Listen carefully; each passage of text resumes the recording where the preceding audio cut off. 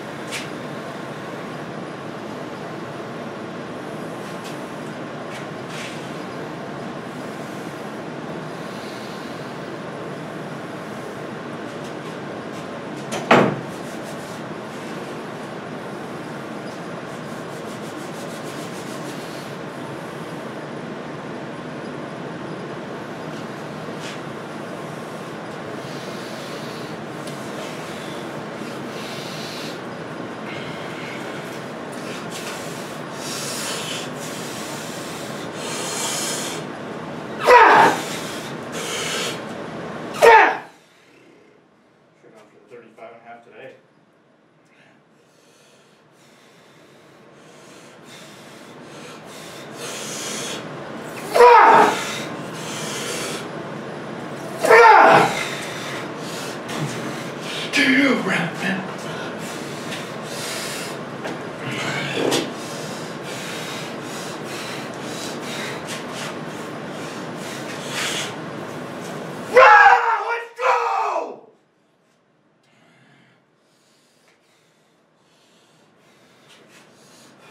Just one motion that sweep. Let's fucking go.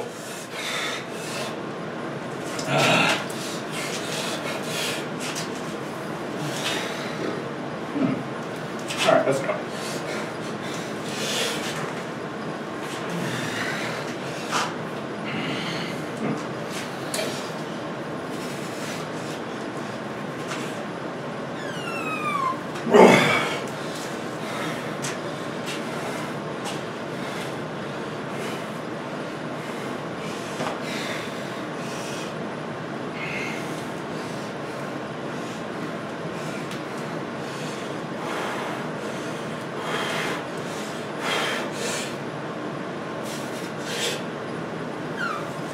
There we go.